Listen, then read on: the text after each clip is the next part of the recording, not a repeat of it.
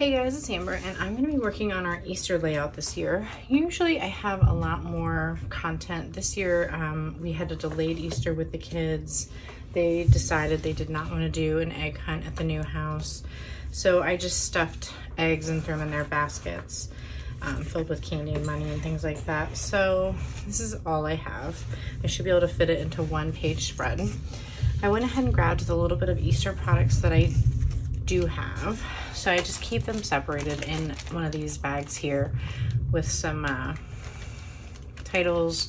That's mostly all cards. So I have a few cards selected here that I picked out. Some of Elle's Studio, like these with the bunnies. Some are just cut cards from other brands. At this point, I don't even know who's who's. Get back, Megan.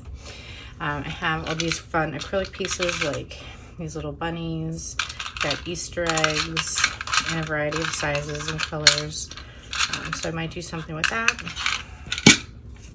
I have this Happy Easter wooden title that I want to try to maybe use and also some Easter pieces. Like there's also bunnies in here. Um, it'd be cute to try to put bunny ears on one of the kids if I thought I could.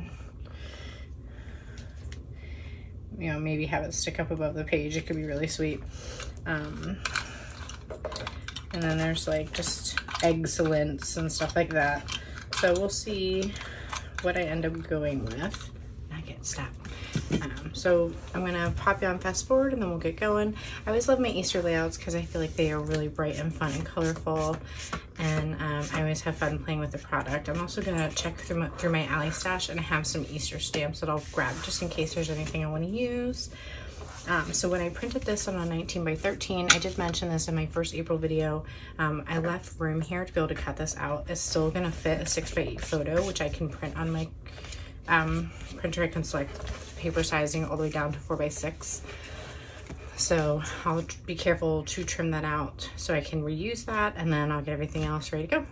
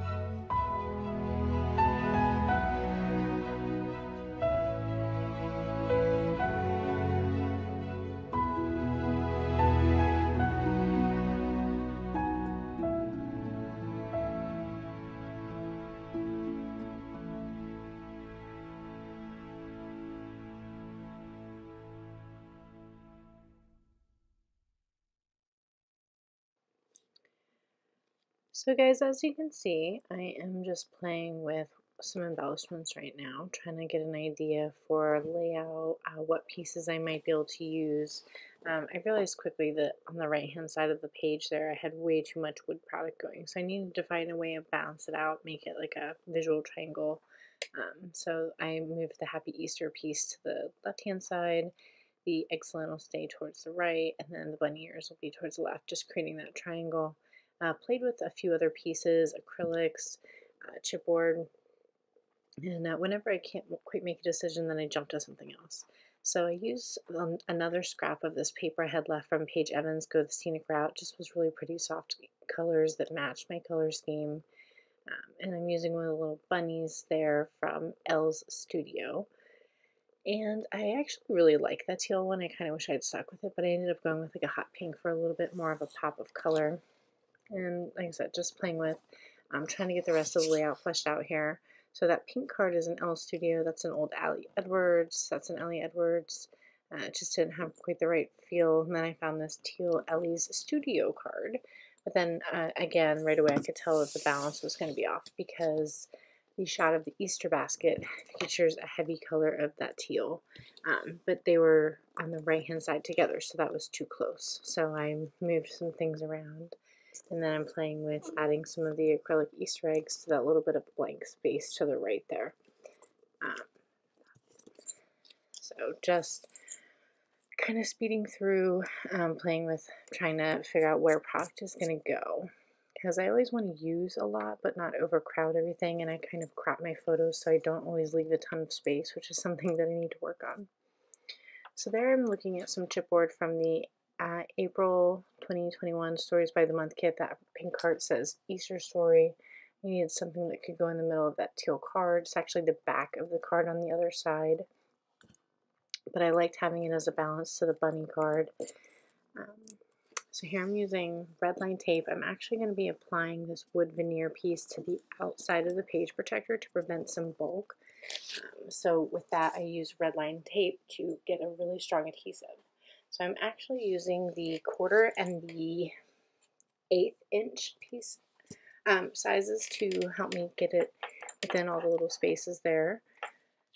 And then I've just trimmed that off, peeled the piece off, and then adding little bunny also to the outside and the chipboard to the outside. Just helps with texture and the feel of the layout.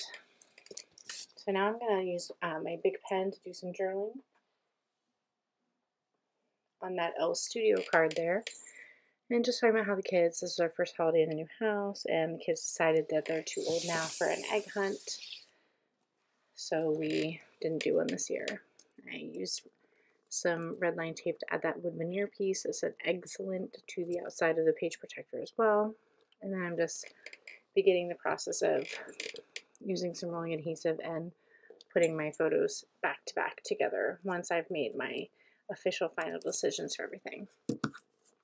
Um, most of it I'm going to crop out, but I left a little bit in here just showing how I like to use two by two, three by four, either photos or cards in a four by six space. Just helps um, expand your options so you're not stuck with feeling like you have to do a four by six. Uh, lets you kind of have a little bit more variety, breaks up the layout a little bit. Um, and it's something that I've gotten more more into doing so just because it allows me to not be limited. So you can see I added the little bunny ears to Juliana. I just decided to go with one instead of two. That way one kiddo wasn't left out. Um, and it was just like a fun play on doing the bunny ears. And here at the very end, I just added a Heidi Swapp date stamp with my Versamark ink to the back of the card. And thanks for watching.